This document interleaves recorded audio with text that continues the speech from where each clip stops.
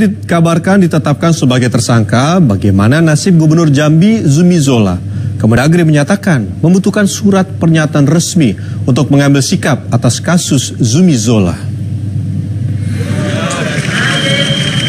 Pasca kabar penetapan tersangka atas Gubernur Jambi Zumi Zola yang diduga terlibat dalam kasus penyuapan ketok palu APBD Jambi, Menteri Dalam Negeri Cahyokumolo menyatakan belum bisa mengambil keputusan apa pun. Kemendagri masih menunggu surat resmi yang menyatakan Zumi Zola benar ditetapkan sebagai tersangka. Biasanya kalau ada pejabat kami, kami mendapatkan surat. Belum ada. Tapi kan pemberitaan Biasa. sudah ramai itu Pak. Kan di media, kan di media. Tapi dari kami dasar kami kan surat surat resmi.